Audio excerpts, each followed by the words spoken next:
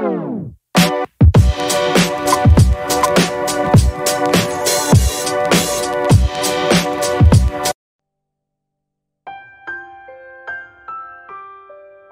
问二：我是一名来自新西兰奥克兰的学员，曾被皮肤问题所困扰，用原始点浆的使用和按摩等等，使我痊愈而豁然开朗。我现在决定用原始点的方法帮助自己，也帮助别人。我想在奥克兰成立一个原始点协会，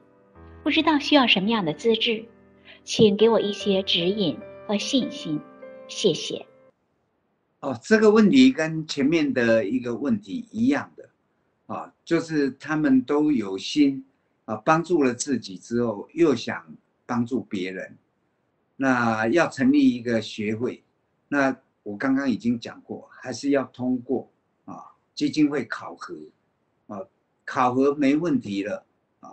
那还有哦，你们成员还有开放时间啊，还是。然后开放的性质啊，是不是公益啊？这一方面啊，如果符合资格，基金会才会允许的。